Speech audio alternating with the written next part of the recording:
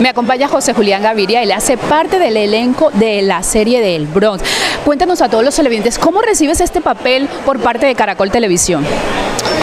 Bueno, eh, empieza como, como cualquier papel, te llaman al casting, vas y lo haces lo mejor que puedes. Este, este en particular fue un casting guerreado lo hicimos unas dos, unas tres veces, tres, cuatro veces, en ese momento no estoy seguro, pero normalmente uno hace el casting menos veces. Esto fue un casting guerreado, había gente muy buena.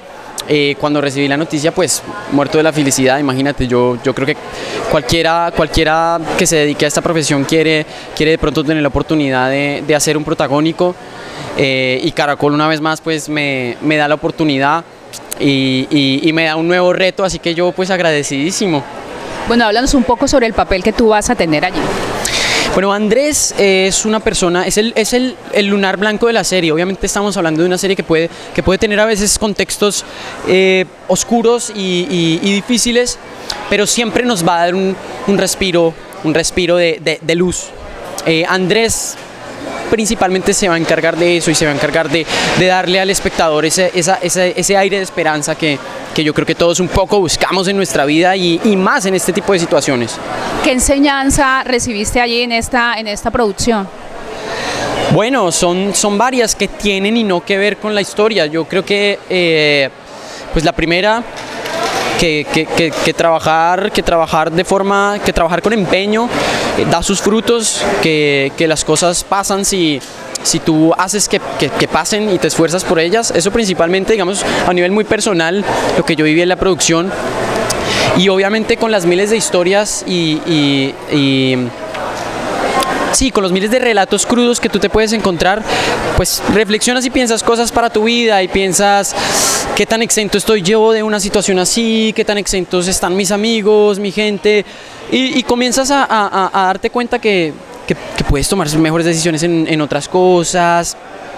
es más aprender de lecciones de vida que ya tuvieron otros y que nos pudieron compartir mientras hacíamos esta serie, porque de todas formas teníamos que, permanecer siempre muy informados de cómo era, cómo era la vida ya, qué hacían. ¿Cuál sería el mensaje que le darías tú a todas las personas que nos están viendo en este momento y que les ha tocado vivir en un contexto parecido al que se, en el que se, desarrollaste se desarrolló tu papel en la serie? Que yo creo que prefiero ni siquiera mandarle un mensaje a esas personas porque yo sé lo, duro que ellos pueden estar viviendo. Creo que el mensaje es más para nosotros como sociedad de que, de que dejemos de pensar que son el último escalafón social de todo y que los miremos así y que, y que, y que tengamos un poco más de empatía con las personas que se encuentran en una situación así.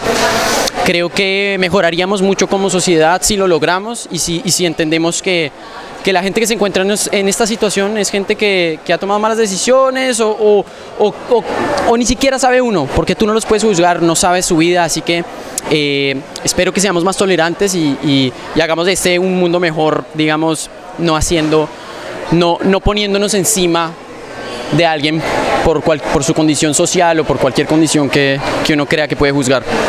José, ¿por qué no nos podemos perder la serie? Por miles de razones no se pueden perder la serie. Primero porque es una serie que se hizo con muchísimo amor, muchísimo cariño. Nos esforzamos durísimo como, como ningún proyecto en el que yo he estado. Ese principalmente y porque la historia está genial. No se la pueden perder. La van a disfrutar muchísimo.